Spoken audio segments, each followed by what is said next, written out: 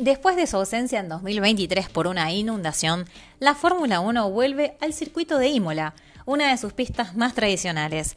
Sitio de alegrías y de tragedias a lo largo de la historia de la categoría, cuando se denominaba GP de San Marino, ahora se presenta bajo el nombre de Gran Premio de Emilia Romagna y para su edición de 2024 promete un espectáculo impredecible. Les damos la bienvenida a un nuevo video para Grande Premio en español.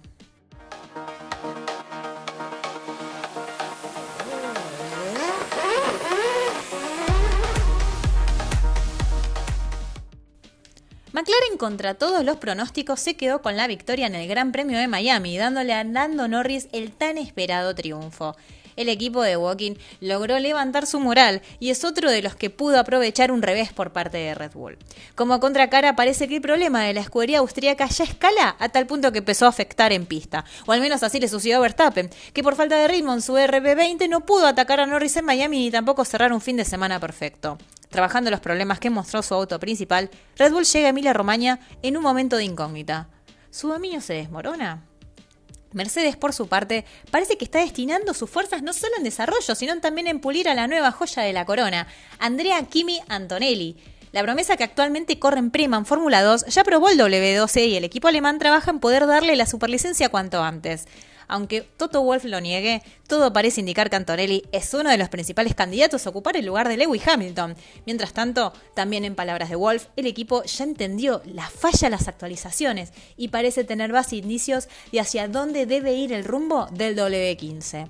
En lo que respecta a Ferrari, si bien está definido el camino en el desarrollo de la SF24, parecen estar más enfocados también en 2025. La noticia más resonante de los últimos días fue la incorporación de Loic Serra y de Jerón D'Ambrosio a la casa de Maranello, provenientes de Mercedes. Todo parece entender que Ferrari prepara un equipo a medida de Lewis Hamilton para que cuando se incorpore pueda reverdecer y volver a la victoria de manera frecuente. Días atrás el equipo probó en Fiorano algunos componentes con sus pilotos y probadores. Los avances se verán a partir de este fin de semana, en una pista que siempre los tiene como favoritos. El equipo Williams parece todavía estar atrapado en un laberinto de mala suerte, falta de presupuesto y caos. Aún así, el equipo de Grove decidió dar un paso adelante y renovar a Alex Albon en un contrato plurianual, el cual muchos no están seguros de si fue una buena decisión. Asegurarse al piloto puede ser bueno para el proyecto a largo plazo que propone James Bowles, pero por otro lado puede coartar las chances de Albon en otro equipo en caso de querer expandirse en otros rumbos. Por otro lado, el británico comentó que piensa en tres nombres para acompañar al tailandés en los próximos años. ¿Esto será un guiño para el argentino Franco Colapinto? El equipo Racing Bulls parece que de a poco encuentra la luz, ya que Yuki Tsunoda nuevamente sumó puntos en Miami. Sin embargo, si bien esto aporta claridad al equipo, también oscurece las chances de Daniel Richardo, que no logra asentarse. El australiano, aunque se muestra esperanzado y resiliente, sabe que basta otro mal resultado para que la permanencia de su asiento corra serio peligro. Aston Martin atraviesa un periodo discreto en resultados y Fernando Alonso comenzó a mostrarse algo disconforme con las decisiones que se toman en el equipo. Con la promesa de trabajar en un proyecto a largo plazo, Aston Martin se posiciona como una de las escuderías que espera seguir sumando puntos de forma modesta. En relación a Haas, con un Magnussen envuelto en polémicas tras el GP de Miami, el equipo prioriza a partir de ahora colocar mejoras en el auto de Nico Hulkenberg, quien además sumó puntos en la última carrera en suelo estadounidense. El rumbo de la nueva dirección con Ayao Komatsu parece dar frutos rápidamente. Este Sauer parece de esos equipos que pasan sin pena ni gloria en 2024.